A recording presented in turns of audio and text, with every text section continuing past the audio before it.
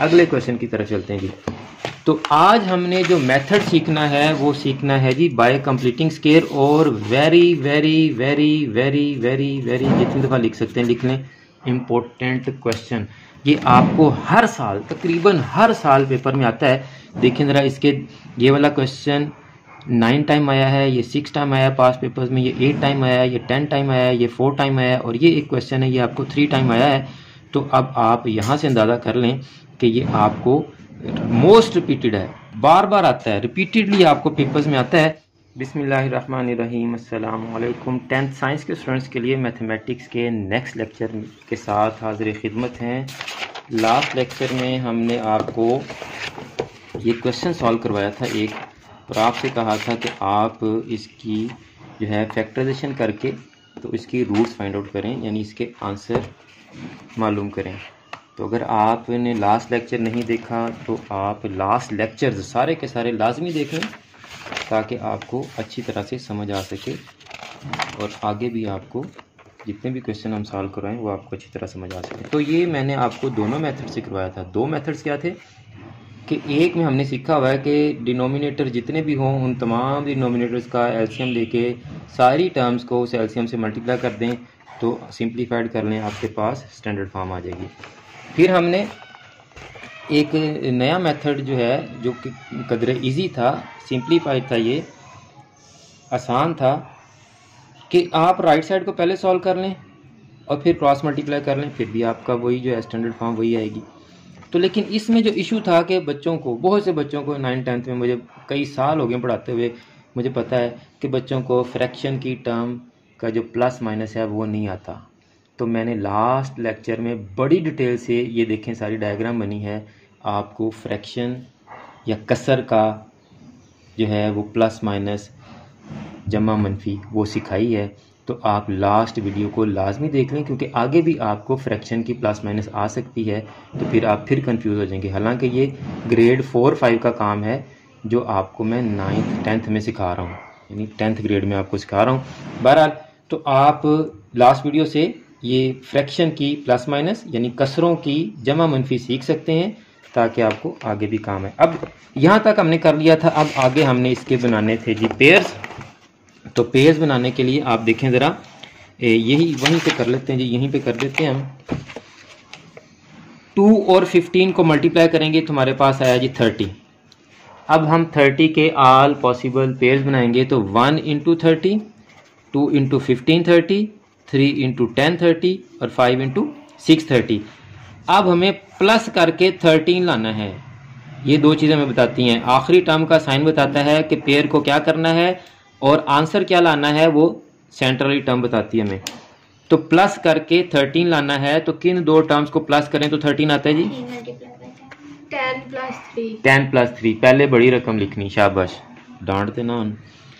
तो two x square minus वही brackets लगाएँगे x plus fifteen is equal to zero तो टेन प्लस थ्री अब देखें, हमने किया प्लस है इसको। अब ब्रैकेट का जो मैजिक है वो यही है कि जब आप ब्रैकेट ओपन करेंगे तो आपके साइंस ऑटोमेटिकली एडजस्ट हो जाएँगे, क्योंकि हमें साइन ये वाला लाना है। तो देखें ज़रा two x square minus ten x और plus minus minus three x plus fifteen is equal to zero अब देखिए माइनस टेन एक्स और minus three x minus thirteen x ही होता है जी। तो आपके साइंस ऑटोमेटिकली एडजस्ट हो गए। अब यहाँ से आप टू एक्स कॉमन लें, अंदर बचा x minus five minus three common लें, अंदर बचा x minus five is equal to zero अब x minus five and two x minus three is equal to zero इन दोनों को वन बाई वन ज़ीरो के इक्वल पुट करके आप इनकी रूट फाइंड आउट कर लें। अगले क्वेश्चन की तरफ़ चलते हैं जी। तो आज हमने जो मेथड सीखना है, वो सीखना है जी बाय कंप्लीटिंग स्केयर और very very very very very very जितनी दफ़ा लिख सकते हैं लिख लें। इम्पोर्टेंट क्वेश्चन ये आपको हर साल, तकरीबन हर साल पेपर में आता है।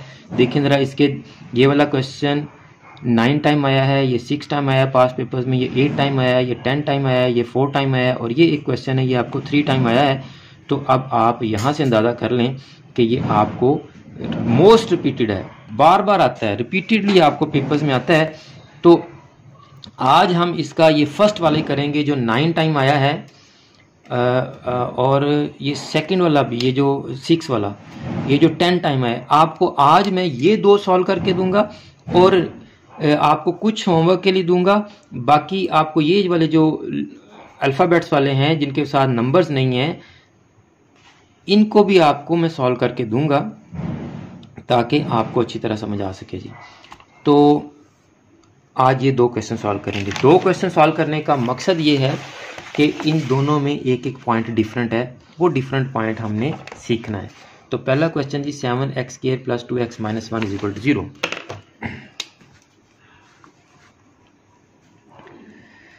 question number three का part one seven x square plus two x minus one is equal to zero ji. Completing square हम सीखने लगे जी। कौन सा मेथड सीखने लगे जी? कंप्लीटिंग स्केयर कंप्लीटिंग स्केयर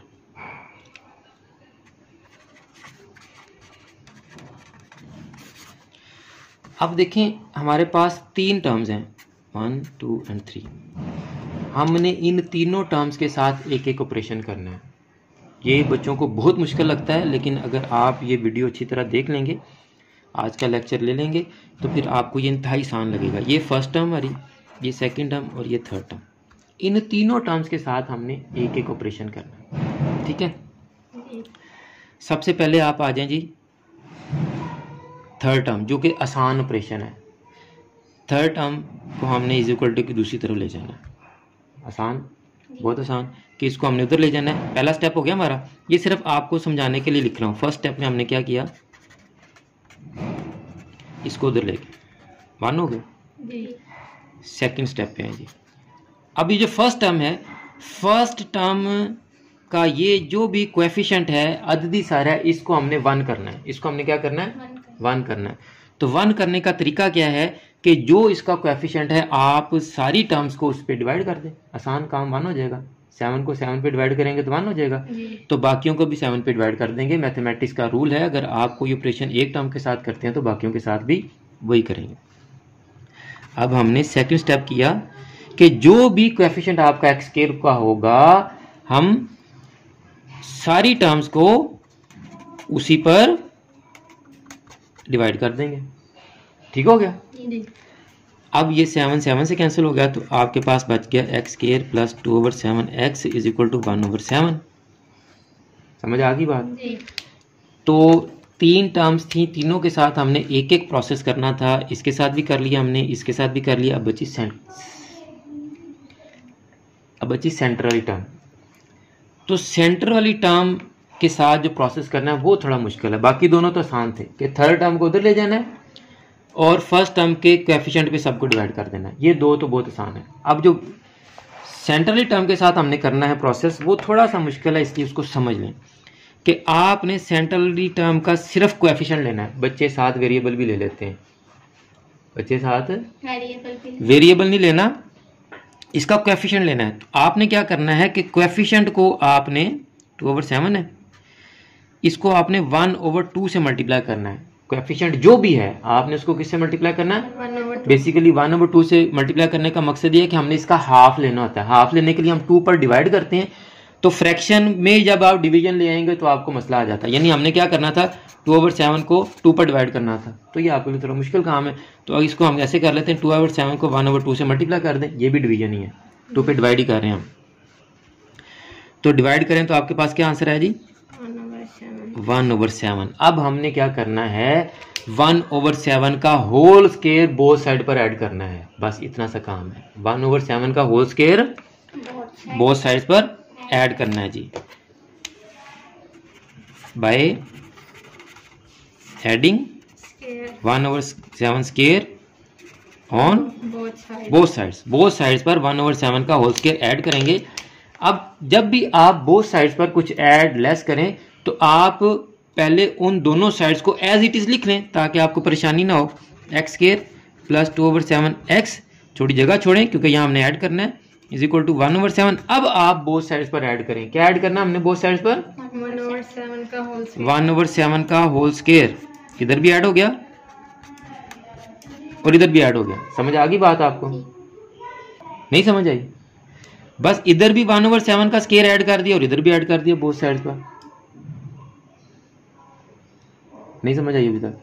शुरू से वो तो समझ आ गया पूछो पूछो क्या पूछना है? आप पूछोगी तो बाकियों को भी समझ आएगा। मतलब जो आपने ये उतारा है तो एक्स के आगे ये स्केयर ऐड करना है। भाई ये दोनों टर्म्स उतार ली ना हम्म, तो दूसरी टर्म के बाद ही ऐड करेंगे। पहली टर्म दूसरी टर्म अब इसके बाद ऐड करेंगे ना। जी। तो ये लेफ़्ट साइड पे ऐड हो गया। अब ये एक ही टर्म थी राइट साइड पे ऐड हो गया। कोई परेशानी हो रहा है? क्लियर हो गया? देखें ये प्रोसेस ऐसे ही होता है जब हम इसको यहाँ में कर देता हूँ आपको देखें ज़रा। X minus five is equal to three हो ना? तो ये माइनस फाइव उधर जाके क्या हो जाएगा जी? प्लस फाइव तो x is equal to three plus five तो x का आंसर क्या आ गया जी? एट ये ऐसे नहीं होता। बेसिकली होता क्या है?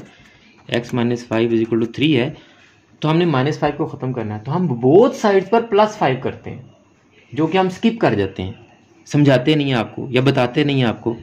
या आपको पता नहीं होता। x minus five plus five is equal to three plus five rule ये है कि हमने बोथ साइड्स पर कोई एक नंबर ऐड किया या सब्ट्रैक्ट किया या मल्टीप्लाई किया या डिवाइड किया। अब रूल ये है। अब जब ऐसा करते हैं तो plus five minus five cancel हो जाता है तो हमारे पास बचता क्या है? X is equal to three plus five तो हम डायरेक्ट ही ऐसे कर लेते हैं और बच्चों को सिखा देते हैं कि इधर से उधर जाएगा तो साइन चेंज हो जाएगा। होता बेसिकली ये सारा प्रोसेस है। कि हम उस नंबर को ख़त्म करने के लिए उसका इन्वर्स लेते हैं। उसका क्या करते हैं? इन्वर्स लेते हैं एडिटिव इन्वर्स भी लेते हैं या मल्टीप्लिकेटिव इन्वर्स लेते हैं। तो अब आपके पास ये वही बच गया आंसर ये हम डायरेक्ट कर देते हैं प्रोसेस ये है। तो आप देखो माइनस फाइव के बाद ही प्लस फाइव ऐड किया ना। और इधर थ्री के बाद प्लस फाइव ऐड किया। अब यहाँ भी इन दोनों टर्म्स के बाद वन ओवर सेवन का स्केयर ऐड कर दिया। और यहाँ वन ओवर सेवन के बाद चूँकि यही टर्म थी ना ये वाली वन ओवर सेवन इसके बाद वन ओवर सेवन का स्केयर ऐड कर दिया। अब ये हमने सारे जो स्टेप्स किए हैं, ये होल स्केयर कंप्लीट करने के लिए किए थे। होल स्केयर हमारे पास दो किस्म के होते हैं। एक होता है ए प्लस बी का स्केयर जो होता है A square plus two A B plus B square और दूसरा होता है हमारे पास ए माइनस बी का square is equal to A square minus two A B plus B square तो देखें, यहाँ दो टर्म्स के होल स्केयर में प्लस आएगा या माइनस आएगा, उसका तयन कौन करता है? ये सेंट्रली टर्म कि अगर सेंट्रली टर्म के साथ प्लस है तो दोनों टर्म्स में प्लस आता है। अगर सेंट्रली टर्म में माइनस है तो दोनों टर्म्स में माइनस आता है। अब आ जाए जी। अब ये आपकी फ़र्स्ट टर्म ये टू ए बी और ये सेकेंड टर्म फ़र्स्ट टर्म का square plus two into first term into second term plus second term का स्केयर ये आपका होल स्केयर कंप्लीट हो चुका है। ये आपका होल स्केयर कंप्लीट हो हो चुका है। अगर आप को पहली दफ़ा ये सारा जो है वो प्रोसेस ये नज़र आ रहा है या सीख रही हैं तो मैं आपको इसको कंप्लीट करके दिखा दूँ। देखिए जी एक्स का square plus two into first term क्या हमारी? एक्स इंटू सेकेंड टर्म क्या है? One over seven plus one over seven का whole square is equal to one over seven plus one over forty nine one का square one और seven का square forty nine अब आप ये देखें first term square plus two into first term into second term plus second term का square यानी A plus two A B plus B square तो अब देखिए इनको मल्टीप्लाई करें। Two into X two X into one two X और divided by seven तो ये सेंट्रली टर्म ही है हमारी। तो ये आपका होल स्केयर कंप्लीट हो गया। किस किस का कंप्लीट हुआ जी? एक्स का और वन ओवर सेवन का। जिन दो टर्म्स के स्केयर होते हैं, उन्हीं का होल स्केयर कंप्लीट होता है। अब सेंटर में साइन कौन सा आएगा? अभी मैंने आपको बताया भी था। कैसे पता चलेगा? यहाँ प्लस आएगा या माइनस आएगा? लास्ट वाली टर्म का साइन देखकर। लास्ट वाली टर्म नहीं ए बी वाली टर्म का साइन देखकर। वो सेंटर में हो या लास्ट में हो? टू ए बी वाली टर्म का साइन देखना है प्लस होगा तो प्लस आएगा माइनस होगा तो माइनस आएगा। अब देखें टू ए बी वाली टर्म ये इसका साइन कौन सा है? तो यहाँ दरमियान में प्लस आएगा और ये आपका अब गेन एलसीएम आ गया ना? जी। वही काम करना अब हमने। सेवन और फोर्टी नाइन का एलसीएम क्या आएगा? फोर्टी नाइन यहाँ एलसीएम ले लेते हैं हम। सेवन और फोर्टी नाइन का दोनों सेवन पे डिवाइड होते हैं। Seven one seven seven seven forty nine फिर सेवन पे तो सेवन सेवन ज़ा फोर्टी नाइन एलसीएम आ गया। अब ये बच्चों वाले काम नहीं आते तो मुश्किल इसीलिए आती है। अब हमने फोर्टी नाइन को किस पे डिवाइड करना है? Very good. ये जबानी कर रहा हूँ। फोर्टी नाइन को सेवन पे डिवाइड किया तो आंसर क्या आया? सेवन। सेवन। को किससे मल्टीप्लाई करना है? Very good. वन से। तो सेवन वन जार सेवन। प्लस। फोर्टी नाइन को किस पे डिवाइड करना है? नहीं फोर्टी नाइन पे अब 49 ये इधर से हमने इसको सॉल्व कर लिया अब यहाँ से 49 को किस पे डिवाइड करना है फोर्टी नाइन 49 को 49 पे डिवाइड करें तो क्या आता है आंसर सेवन शाबाश अभी टेंथ में हो गए आप लोग अगर किसी नंबर को उसी नंबर पे डिवाइड करेंगे तो वन आता है फोर्टी नाइन को फोर्टी नाइन पे डिवाइड करो तो forty nine one forty nine one तो वन को हम किससे मल्टीप्लाई करेंगे वन से ਇਹ ਸਾਰਾ ਕੁਝ ਜਾਏਗਾ ਤੁਹਾਡੀਆਂ ਸਟੂਡੈਂਟਾਂ ਵੀ ਸੁਣਨ ਉਹ ਤੁਹਾਡੀਆਂ ਕਲਾਸ ਫੈਲੋਜ਼ ਵੀ ਸੁਣਨਗੀਆਂ ਸਾਰੀਆਂ ਤੁਹਾਡੀਆਂ ਨੇ ਲੈਕੀਆਂ तो वन वन ज़र वन वन तो अब आप ये होल स्केयर कंप्लीट है इसको ऐसे लिखा रहने दें और ये आपका आ गया एट ओवर फोर्टी नाइन ये हमारा क्या आ गया एट ओवर फोर्टी नाइन अब हम नेक्स्ट पेज पर चलते हैं क्योंकि इसका आगे भी सॉल्व बनना है